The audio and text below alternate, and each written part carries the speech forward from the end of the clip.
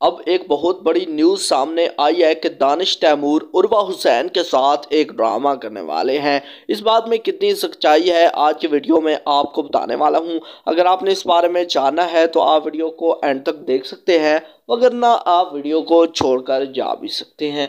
आगे बढ़ने से पहले छोटे भाई के चैनल को सब्सक्राइब करके बेल नोटिफिकेशन हाल पे सेट कर लीजिए।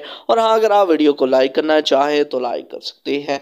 सबसे पहले जो न्यूज़ वायरल हो रही है, वो ये है कि उर्वा हुसैन दुरेफी शाह और दानिश तैमूर एक बार फिर गरेबान ड्रामे में साथ में काम करने वाले हैं। ये एक न्यूज़ बहुत बड़ी वायरल हो रही है। यूट्यूब पर सर्च करें गरेबान ड्रामा तो आपको बहुत ज़्यादा वीडियोज़ देखने को मिल जाएँगी। इसका मतलब ये है कि ये टॉपिक ट्रेंडिंग पर जा रहा है। लोग बहुत ज़्यादा गरेबान ड्रामे के मुतलिक मुझसे भी पूछ रहे हैं और यूट्यूब पर भी बहुत ज़्यादा सर्च कर रहे हैं। तो क्लियरली ऑफिशियली तौर पर अभी ये ड्रामा अनाउंस नहीं हुआ है, लेकिन दानिश तैमूर का जल्द आने वाला ड्रामा जिसका टाइटल तेरी इच्छाओं में है और उसके टीज़र तकरीबन एक दो दिन में ड्रॉप हो जाएँगे। और दूसरा ड्रामा है जान निसार, वो भी जल्द से जल्द आने वाला है।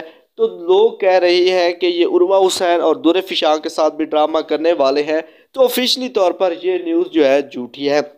दानिश तैमूर जो है, उर्वा हुसैन के साथ ड्रामा नहीं करने वाले, बल्कि हिबा बुखारी के साथ ड्रामा करने वाले हैं, जो कि तकरीबन जल्द अज जल्द में देखने को मिलेगा। क्या आप उस ड्रामे का बड़ी बेसब्री से वेट कर रही है? कमेंट सेक्शन में अपनी राय का इजहार कीजिएगा। मेरी वीडियो इतनी थी, खुदा हाफ़